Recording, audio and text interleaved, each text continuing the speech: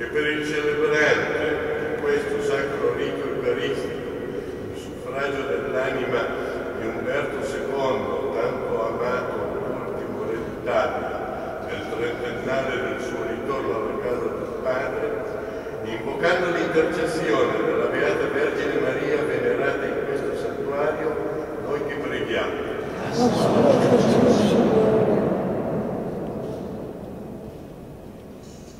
Per gli italiani tutti, fedeli al sacro binomio Dio, Patria, Famiglia,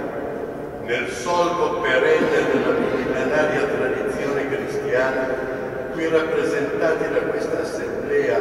unitamente ai propri principi sabaudi affinché le spoglie degli ultimi sovrani d'Italia trovino finalmente riposo entro i sacri confini della patria, invocando l'intercessione di San Maurizio, Martire, patrono di Casa Savoia, le armi d'Italia,